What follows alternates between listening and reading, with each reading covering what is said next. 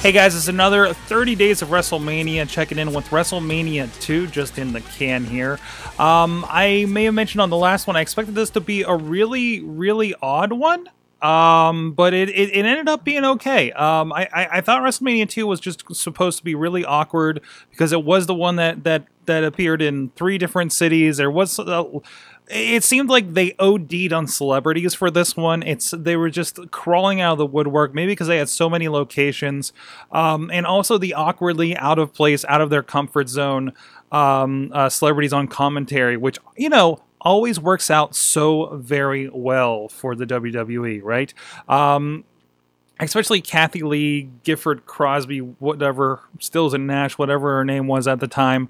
Um, you know, uh, Elvira is always really interesting. Um, but uh, you know, it, it, it's it's it's still like there were a lot of good matches on here. Um, uh, Animal, Animal, uh, uh, George Steele uh, against uh, Macho Man Randy Savage, for instance. Um, you had some early Jake the Snake Roberts, as you're seeing if you're on the video. Uh, the, the the boxing match is classic. I think was the subject of the WrestleMania Rewind. Um, I, I, keep saying I love like Roddy Piper telling the story of telling the story of uh, how Mr. T screwed that up. Um, Battle Royal is always good, um, but it, it's it, it, yeah, it really came off. Um, there was a really interesting their their tagline where the was this is is this WrestleMania two. This is what the world has come to, which is kind of something I can say for the WrestleMania now.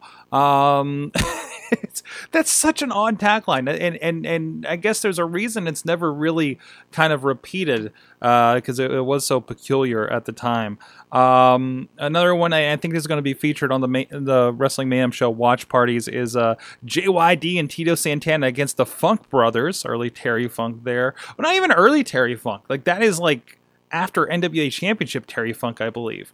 Um, but worthwhile. Uh, you got uh, the Dream Team, uh, Brutus Beefcake, and Greg the Hammer Valentine taking on the British Bulldogs, um, with Ozzy Osbourne in the in the corner. Um, tremendous stuff. Like I said, this place is a lousy with celebrities. Not to mention like wrestler, the, the NFL people, NFL football players uh, in the battle royal for this one. Um, but all over the place. It's really cool to kind of look into because this is before my time. I started probably watching about a year to uh, within a year or two of this event happening, I think. Um, so this is kind of like the uh, the the before my time one, and you get to see how things were, and, and that they got so into it with so many celebrities. Um, I, it's definitely worthwhile. I, I, it's at least talked about one. Uh, it does get a little awkward. There's a, there's a set where um, I, I, forget who the celebrity is, but it's Vince McMahon sitting in these like plush chairs, and apparently they called the match this way too, uh, with, with, whatever celebrity that was with him. Um, and they keep checking back in with him.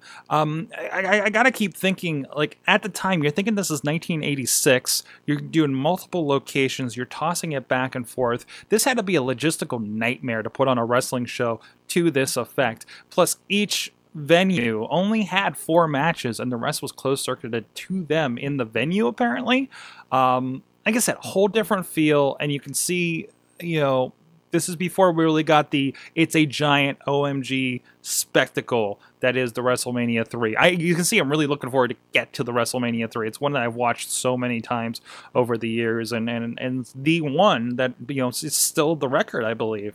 Um, and I, am surprised they really haven't reached that yet with some of these bigger stadiums that they've been reaching into. I guess they're looking at it for uh, for Dallas.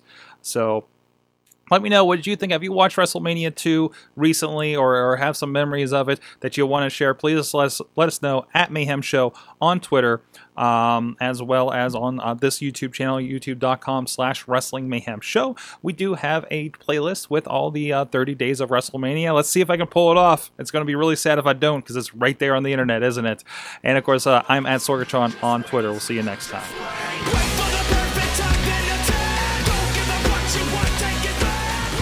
This show is a member of the Sorgatron Media Podcast Network. Find out more at sorgatronmedia.com.